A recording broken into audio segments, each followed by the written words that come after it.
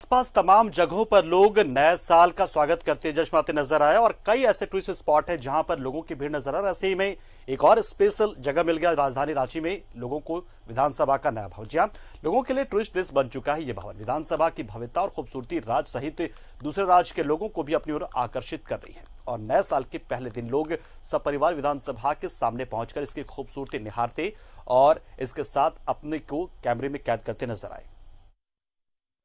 लागत से बना नया विधानसभा भवन ऐतिहासिक भी है और खूबसूरत भी। विधानसभा की भव्यता की चर्चा न सिर्फ़ अपने राज्य में है, बल्कि पूरे देश में भी है। और यही वजह है कि विधानसभा रांची एक टूरिस्ट प्लेस भी माना जाता है, जहाँ लोग पहुंचकर विधानसभा की खूबसूरती को अपने कैमरे में कैद करते हैं। वहीं अगर विधानसभा को देखने का मौका भी हो और दस्तूर भी तो भला क्या कहने। इसलिए नए साल का पहला दिन विधानसभा की खूबसूरती को निहारने लोग बड़ी तादाद में पहुँचे। साल 2021 के पहले दिन सभी की जुबा पर सिर्फ़ एक ही प्रार्थना है कि जिस तरीके से कोरोना ने साल 2020 में पूरी दुनिया को परेशान किया, इस महामारी से सबको निजात मिले और ज़िंदगी पटरी पर फिर से लौट आए।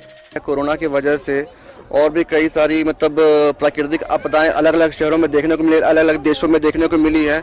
तो अभी हम आगे 2021 को हम चाह रहे हैं कि सब कुछ नया हो, सब कुछ नए तरीके से हम शुरुआत करें, ठीक है ना? और चूँकि ये विधानसभा की बिल्डिंग जो नई बनी है, ठीक है ना?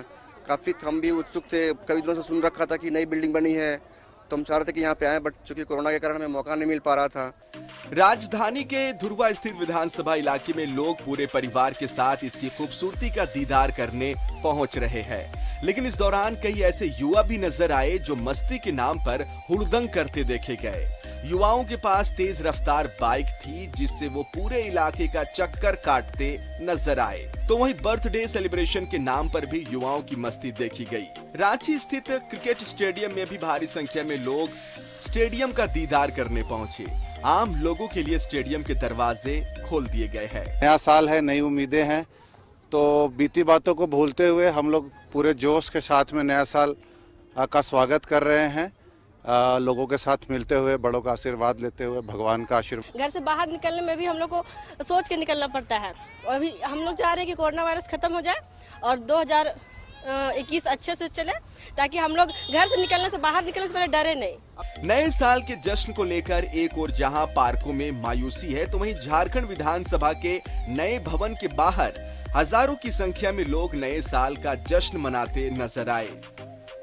न्यूज़ 11 भारत के लिए कैमरा पर्सन राजेश के साथ मोहम्मद इमरान की रिपोर्ट। और फ़िलहाल आप बुलेटिन रुकते एक छोटे से ब्रेक के लिए जल्द हाजिर होंगे कुछ और अहम खबरों के साथ।